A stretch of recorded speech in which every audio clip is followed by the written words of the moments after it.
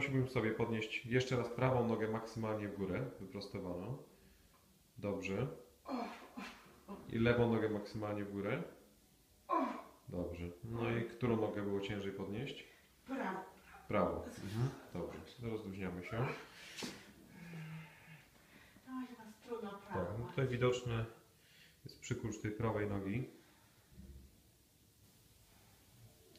No to teraz położyliśmy Panią na naszych klinach, na bloczkach.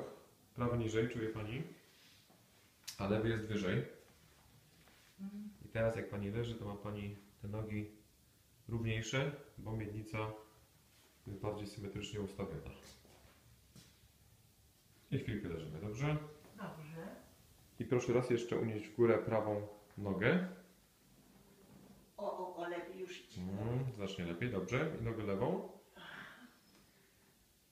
O, o, o, aha. Dobrze. Tą podnoszę, to prawie biorę Dobra, to zaraz to jeszcze sprawdzimy. Tutaj nogi też się Pani wyrównały. Samo ułożenie nóg. Dobrze, dobrze. Łe, no to będzie od razu inaczej, aż w oczach jaśniej. Inaczej, właśnie, No, dobrze. w oczach mi jaśniej się zrobiło. o.